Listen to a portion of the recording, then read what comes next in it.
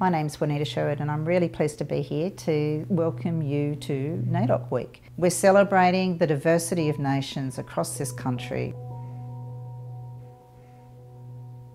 The NAIDOC theme always was, always will be. I'd like to link it to land and I think that's what the theme is about. Land is critical to Aboriginal and Torres Strait Islander peoples the core of our ways of knowing and being and doing. It's our law, it's our dreaming, it's our way of nurturing ourselves, it's fed us, it's been our mother. We're very connected to country.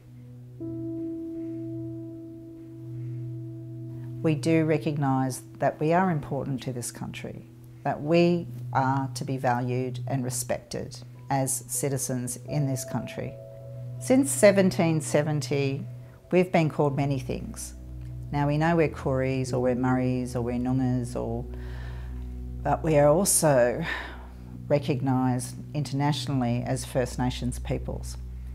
Universities are utilising the term First Nations peoples and at Charles Sturt we will be using that term too.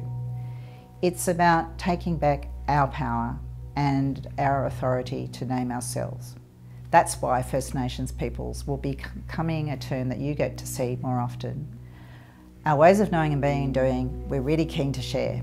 Um, we're keen to work side by side, everyone in Australia, to work towards a healthy, sustainable country. We also want it to be a country that respects difference and diversity. We want it to be a country that values difference and sees it as a positive, a strength, rather than a deficit.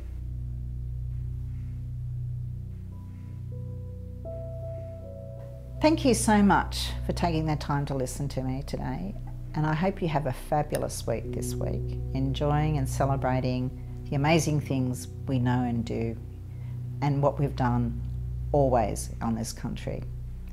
I'm really looking forward to next year when we can actually have a chance to sit down and yarn and connect and share stories again in person.